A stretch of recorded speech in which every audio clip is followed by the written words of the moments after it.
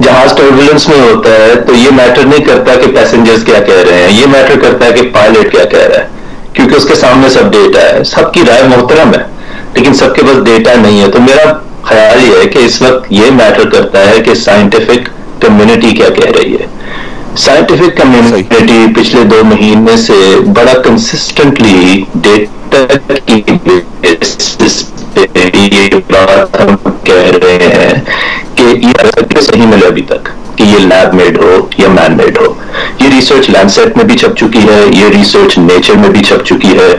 اس میں آسٹریلیا اور یورپ اور امریکہ کے ہر ملک کے کسی ایک ملک کے سائنٹسٹ نے یہ بات نہیں کہی۔ اسی لیے اس کو ڈبلیو ایچ او نے انڈورس کیا۔ اور میرا خیال ہے کہ اس وقت اس کا خطرہ ہے، کیونکہ that's exactly what the virus wants virus تو چاہتا ہی ہے کہ ہم ان چیزوں میں الجھے رہیں۔ جب گھر میں آگ لگی ہو، آپ خود مجھے بتائیے۔ وہ وقت آگ کو بجھانے کا ہے۔ ایک وقت آتا ہے جب ہم یہ انویسٹیگیٹ کرتے ہیں کہ آگ کیسے لگی تھی تاکہ دوبارہ نہ لگے۔ لیکن وہ وقت یہ نہیں ہوتا کہ اس وقت اس بحث میں پڑ جایا جائے کہ آگ کیسے لگی اور کیسے شروع ہوئی۔ تو میری رائے میں یہ ڈسکشن دو ہزار اکیس یا دو ہزار بائیس میں سوٹ کرتی ہے۔ آج ہمیں یونائٹڈ ہونا چاہیے وائرس کے اگینسٹ کیونکہ ہمارے گھر میں آگ لگی ہوئی ہے۔ پاکستان میں نمبر آف کیسز ڈبل ہو رہے ہیں ہر دس دن کے بعد۔ اور امریکہ میں جہاں میں نے اپنی آدھی زندگی گزاری ہے، یہاں پہ بھی حالات آپ کے سامنے ہیں۔ تو میں سمجھتا ہوں کہ ہمیں بڑا فوکس رہنا چاہیے اس وقت پرابلم کے اوپر۔ لیکن آگ، آپ صحیح کہہ رہے ہیں کہ جی ہمیں فوکس رہنا چاہیے اور آگ بجھانے کے اوپر ہمارا سارا جو ہے وہ فوکس ہونا چاہیے۔ لیکن ٹرمپ صاحب جب دنیا کی one of the biggest democracies کو لیڈ کرتے ہیں پریزیڈنٹ ہیں، وہ کہتے ہیں کہ آگ انہوں نے لگائی ہے، تو اس کے اوپر پھر بات تو کرنی بنتی ہے نا سر کہ وہ جب اسپیسیفکلی کہتے ہیں کہ جی یہ چائنا میں وہان میں لیبورٹری میں تیار ہوا وائرس اور میں نے اس کا ثبوت دیکھا ہے، تو at least we have to talk about it because is the president of United States جی درست بات آپ کی میں نے آپ کا تجزیہ سن لیا تھا غور سے، میں نے اس کو اگنور نہیں کیا، لیکن ریالٹی ہے کہ میں تو ایک ڈاکٹر ہوں، میں تو فرنٹ لائن پہ روز مریض دیکھ رہا ہوں، میں تو اس کے بارے میں روز گھنٹوں پڑھ رہا ہوں۔ میرا پالیٹکس سے کوئی کام نہیں ہے۔ تو وہ جو کہتے ہیں کہتے رہے، لیکن اگین میرا ان کو بھی یہی مشورہ ہوگا کہ اس وقت آگ بجھانے پہ فوکس ہونا چاہیے۔ ٹھیک ہے۔ ڈاکٹر تاور رحمان صاحب، آپ کی طرف واپس آتا ہوں۔ ایک اور بڑا امپورٹنٹ میں سمجھتا ہوں کہ اس کا ایک ایسپیکٹ یہ ہے کہ جو ویکسین کے حوالے سے بات ہو رہی ہے، امریکہ سے بھی ہمیں پتہ لگتا ہے کہ ڈاکٹر فاؤچی جو تھے، انہوں نے کہا کہ اگلے سال ارلی نیکسٹ ایئر جنوری تک ملینز آف ویکسین اس کی اویلیبل ہو سکتی ہیں، یہ ممکنات میں سے ہے۔ کوئی کہتا ہے کہ ذرا زیادہ ٹائم بھی لگ سکتا ہے۔ ہمارے یہاں پہ مجھے پتا ہے، آپ لوگ بھی کوشش کریں۔ تو اس حوالے سے اپڈیٹ دیجیے گا کہاں تک کوشش ہے کامیابی۔ دوسرا، کیا یہ پاسبلٹی ہو سکتی ہے؟ کیونکہ آج میں ایک جگہ پہ پڑھ رہا تھا کہ یہ بھی ہو سکتا ہے کہ شاید خدا خواستہ ہم لوگ میڈیکل سائنس اس وائرس کی ویکسین ڈیولپ کرنے میں کامیابی نہ ہو سکے۔ جیسے کہ انیس سو چوراسی میں جب ایچ آئی وی بیماری ایک پھیلی تھی ایڈز جس کو ہم کہتے ہیں، تو U S secretary of health اس وقت مارگریٹ ہیکلر تھے۔ ان کا ایک سٹیٹمنٹ آیا تھا کہ ہم نے وائرس کو آئیڈینٹیفائی کر لیا ہے۔ اور اس کو ایچ آئی وی کا نام دیا ہے اور ویکسین دو سال میں تیار ہو جائے گی، لیکن آج چھتیس سال گزر گئے اس بات کو، لیکن تھرٹی ٹو ملین ڈیتھس ہو چکی ہیں، تین کروڑ بیس لاکھ لوگ ایڈز کی وجہ سے موت کے منہ میں جا چکے ہیں، لیکن آج تک کوئی ویکسین تیار نہیں ہوئی جو نائنٹین ایٹی فور میں U S secretary of health نے کہا تھا کہ تیار ہو جائے گی۔ تو کیا اس طرح کی بھی کوئی پاسبلٹی ہو سکتی ہے کہ کرونا کی کوئی ویکسین تیار نہ ہو سکے؟ جی میرے خیال میں تو ویکسین اس کا بہت اچھا چانس ہے کہ ویکسین اس کی تیار ہو جائے گی۔ میرے خیال سے ایک سال سے ڈیڑھ سال لگے گا اس کو ویکسینز کو آنے میں اور ایک کمپنی نہیں، بلکہ کئی کمپنیاں کمپنیاں مختلف ویکسینز بنائیں گی۔ ویکسین جو بنتی ہے وہ بھی کئی طریقے سے بنتی ہے۔ اور جو اس کی تو اسٹرکچر جو ہوتا ہے جو اس کی ساخت ہوتی ہے، اس کے کسی پروٹین سرفیس پروٹین کو لے کے اس کے حساب سے ویکسین بنائی جاتی ہے، یا وائرس کو مار کے بنائی جاتی ہے، یا کمزور کر کے بنائی جاتی ہے۔ تو اس وقت اسی کمپنیاں کام کر رہی ہیں دنیا میں، اس میں چائنا، جرمنی، امریکہ، برطانیہ وغیرہ بہت ساری کمپنیز ہیں۔ اور کچھ جو ہے phase one clinical trials complete کر کے فیز ٹو میں جا چکی ہیں۔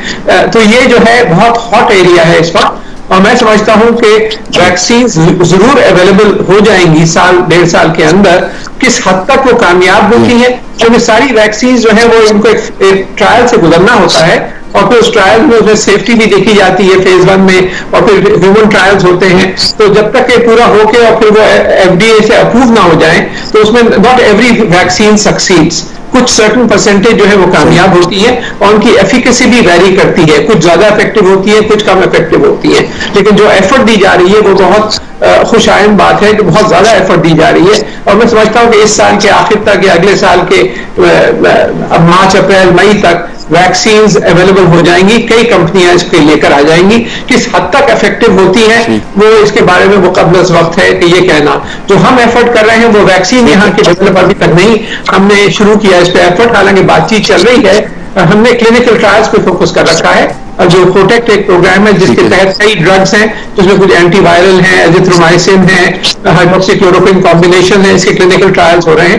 اور اس کے جو پہلے ریزلٹس ہیں آپ نے سنا ہوگا ابھی ریمڈیزیویر کے بارے میں ابھی امریکہ نے اناؤنس کیا ہے کہ اس میں کچھ جی جی جی وہ میں نے آپ سے سوال پوچھنا جی ہاں۔ تو وہ ہماری بھی کوشش جاری ہے۔ آتا ہوں جی آپ کی طرف واپس آتا ہوں جی۔ ٹھیک ہے ڈاکٹر صاحب، میں آتا ہوں آپ کی طرف واپس۔ ڈاکٹر فہیم صاحب، آپ سے بھی سیم کوشچن کہ یہ جو 1984 میں ایک statement U S secretary of health Margaret Heckler کا آیا تھا کہ ہم دو سال میں ایڈز کی ویکسین تیار کر لیں گے، لیکن آج تک کوئی ویکسین اس کی تیار ہو نہیں سکی ہے۔ تو ایک آرٹیکل میں پڑھ رہا تھا جس میں لکھا ہوا تھا کہ کیا یہ پاسبل ہے کہ ہم کرونا کی بھی ویکسین نہ تیار کر سکیں، کیونکہ وائرس جو ہے وہ جیسے کہ ڈاکٹر صاحب ابھی فرما رہے تھے عطاؤ رحمان صاحب، وہ اپنے آپ کو میوٹیٹ کرتا ہے اور بہت بہت ساری ایسی ویکسینز جو فلوئنزا کی فلو کی پچھلے سال کے فلو پہ اثر کرتی ہیں، وہ اگلے سال فلو اپنی شکل بدل لیتا ہے وائرس تو اس کے اوپر اثر نہیں کرتی ہے، تو آپ کو ویکسینز کو بھی اپڈیٹ کرنا پڑتا ہے۔ تو کیا کرونا میں بھی یہ پاسبلٹی ہو سکتی ہے؟ جی میں عطاؤ رحمان صاحب سے بڑا لارجلی اگری کرتا ہوں جو انہوں نے فرمایا، لیکن آئی تھنک دو تین اور نوانسز ہیں۔ پہلا تو یہ کہ ایڈز اور کرونا وائرس کا کوئی کمپیریزن نہیں ہے۔ ایسے جیسے آپ ایف سکسٹین اور ٹویوٹا کرونا کی بات کر رہے ہیں۔ AIDS is a very different virus H I V virus کی میوٹیشن بہت زیادہ کانسیکوینشل ہے اس طرح کی وائرس کی میوٹیشنز نہیں ہے کرونا وائرس کی۔ اور ایڈز کا وائرس جو ہے وہ ہمارے امیون سسٹم کو سی ڈی فورس کو ہی مار دیتا ہے، ان سیلز کو جنہوں نے امیونٹی بنانی ہوتی ہے۔ اس لیے آج تک ویکسین نہیں بن سکی ایڈز کی۔ جہاں تک کورونا وائرسز کا تعلق ہے دو ہزار تین میں جب سارز کا وائرس آیا تھا تو سارز کی ویکسین تقریباً تیار تھی اور لانچ ہونے والی تھی۔ وہ لانچ ہوئی اس لیے نہیں کیونکہ وائرس سے خود بخود ختم ہو گیا۔ اب اس کی جو ویکسین اچھا۔ ہے میرے خیال میں وہ ضرور بن جائے گی۔ اور جیسے عطاء رحمان صاحب نے فرمایا، لیکن ایک اور بات ہے کہ اس کی جو میوٹیشنز ہیں، ان سے میرا نہیں خیال کہ لوگوں کو اس طرح سے ڈرنے کی ضرورت ہے۔ ناٹ کانسیکوینشل میوٹیشنز جس کا مطلب یہ ہے کہ ان سے اس کی شدت پہ، اس کے علاج پہ، ان کی تدابیر پہ کوئی ایسا خاص فرق نہیں پڑتا۔ اگر آپ اپنے باغ میں جا کے مختلف پھولوں کو، گلاب کے سب پھولوں کو دیکھیں، تو ان میں شاید تھوڑا تھوڑا فرق ہوگا، لیکن وہ سب گلاب کے پھول ہیں۔ تو اسی طرح یہ وائرس جب بھی ریپلیکیٹ کرتا ہے، ایک پیشنٹ سے دوسرے پیشنٹ میں جاتا ہے، تو ساتھ ساتھ اس کی تھوڑی تھوڑی میوٹیشنز ہوتی رہتی ہیں۔ لیکن وہ ایسی میوٹیشنز نہیں ہیں جن کی وجہ سے ایک ویکسین کا ایفیکٹ خراب ہو جائے۔ ٹھیک ہے۔ ڈاکٹر عطاور رحمان صاحب، یہ جو دوائی جس کا آپ ذکر کر رہے تھے، جو ایبولا اور ایڈز کے لیے استعمال ہوتی رہی ہے ریم ڈیزویر اس کے حوالے سے بھی امریکی صدر کا ایک سٹیٹمنٹ آیا ہے کہ کرونا کے علاج کے لیے بڑی اہم ثابت ہو سکتی ہے۔ تو آپ اس سے اگری کریں گے سٹیٹمنٹ سے؟ میرے خیال سے بہت اہم ثابت ہو سکتی ہے، تو یہ اوور ایگزیجریشن ہے۔ جو ریزلٹس آئے ہیں، اس سے پتا چلا ہے کہ جو ریکوری پیریڈ ہے اس میں کوئی تیس پرسینٹ ٹریننگ ہے اگر پندرہ دن میں ایک آدمی ریکور کر رہا ہے تو گیارہ دن میں ریکور کرنے لگتا ہے ریکوری پیریڈ کم ہو جاتا ہے۔ لیکن یہ کوئی کیور نہیں ہے۔ اور ابھی تک جو مختلف جو ٹرائلز ہوئے ہیں ایک فرانس میں ایک ٹرائل ہوا ہے، کوئی ہزار پیشنٹ کے اوپر، جس میں ہائیڈروکسی کلوروکن اور ایریتھرومائسین وہ خاصا حوصلہ افزا تھا۔ ہائیڈروکسی کلوروکن اکیلے جو ٹرائلز ہوئے ہیں، وہ تو سیل ہو گئے ہیں کئی اسٹڈیز میں، لیکن کمبینیشن میں۔ تو اس وقت بہت سے مختلف کمبینیشن دیکھے جا رہے ہیں repurposing of existing drugs جو اس وقت موجود ہیں کیونکہ نیا ڈرگ تیار کرنے میں آپ کو پانچ سے دس سال لگیں گے اور اربوں ڈالر خرچ ہوں گے وہ تو آپ کے سامنے آپشن ہے ہی نہیں ویکسین بھی سال ڈیڑھ سال جی۔ دور ہے تو اس وقت جو آپشن رہ جاتا ہے آپ کے پاس وہ یہی ہے کہ آپ ایگزٹنگ ڈرگ میں سے کوئی نکالیں اور جیسے کہ ڈاکٹر فہیم صاحب کہہ رہے ہیں، میں اگری کرتا ہوں ان سے کہ جو میوٹیشنز ہیں، وہ اگر کانسیکوینشل ہیں یا ان کانسیکوینشل ہیں، کچھ حصے ایسے ہوتے ہیں، اس کے اسٹرکچر کے جو ساخت کے، یہ سمجھیں ایک لمبی سی لڑی ہے موتیوں کی۔ کوئی تیس ہزار کے قریب اس میں نیوکلیوٹائڈس ہیں جو آپس میں جڑے ہوئے ہیں۔ کچھ حصے بہت اہم ہوتے ہیں۔ جی۔ اس کے اسٹرکچر کے لیے اور وہاں پہ ایک ہی میوٹیشن ہو جائے تو اس سے بہت بڑا فرق پڑ سکتا ہے اس کے بہیویئر میں۔ اور زیادہ تر میوٹیشن ہوتے ہیں ان کانسیکوینشل ایریاز میں ہوتے ہیں جس سے کوئی فرق نہیں پڑتا۔ تو ہم امید کرتے ہیں کہ جو یہ میوٹیشن ہو رہے ہیں وہ ان کانسیکوینشل ہوں گے۔ یا اگر کانسیکوینشل ہوں گے بھی تو پھر ویریولنس اس سے کم ہو جائے گی۔ تو there are several thing is quite a complicated thing it's not a simple thing جیسے کہ ڈاکٹر فہیم یونسا فرما رہے تھے۔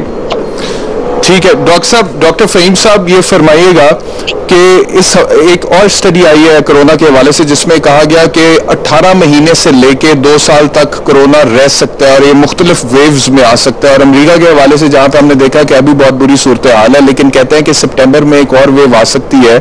اور اسی ریسرچ میں بھی لکھا گیا کہ پہلی ویو سے زیادہ لیتھل زیادہ خطرناک دوسری ویو ہو سکتی ہے۔ جس طرح سے اسپینش فلو میں ہوا تھا کہ پہلی ویو اتنی لیتھل نہیں تھی، دوسری ویو زیادہ لیتھل تھی اور اس میں پھر زیادہ جانی نقصان ہوا تھا۔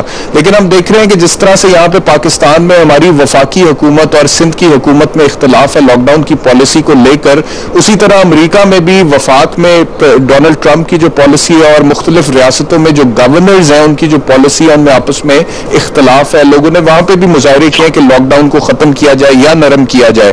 اور ہم نے دیکھا کہ ویکینڈ پہ اس بار پارکس بھی کھلے، آباد نظر آئے۔ اور چھتیس ریاستوں میں، بتیس سوری بتیس ریاستوں میں نرمی کی جا چکی ہے لاک ڈاؤن میں۔ تو آپ سمجھتے ہیں کہ یہ جو نرمی اب لاک ڈاؤن میں ریاستوں میں کی جا چکی ہے یہ صحیح فیصلہ ہے۔ کرونا کے وائرس کو مد نظر رکھتے ہوئے جس طرح سے یہ پھیلتا ہے سائنٹیفکلی آپ اس کو درست فیصلہ کہیں گے یا امریکہ جیسے ملک میں بھی آپ کہیں گے کہ معاشی مجبوریاں جو ہیں وہ سائنس پر حاوی ہو گئی۔ جی دو تین ڈفرنٹ آپ نے بڑے اچھے کوشچنز پوچھے۔ سب سے پہلی بات میں کئی دفعہ کہہ چکا ہوں کہ کرونا وائرس کے ساتھ جو ہمارا مقابلہ ہے، یہ ایک میچ نہیں ہے، یہ ایک ٹورنامنٹ ہے۔ ہمیں بہت سارے میچ کھیلنے ہوں گے اس کے اگینسٹ تو ایک پیک نہیں آئے گی، بہت ساری پیکس آئیں گی۔ جب ایک وائرس اتنا گلوبل ہو جاتا ہے اور اتنا ڈیپ چلا جاتا ہے آپ کی سوسائٹی میں جس کے خلاف آپ کے پاس نہ ٹریٹمنٹ ہے نہ ویکسین ہے۔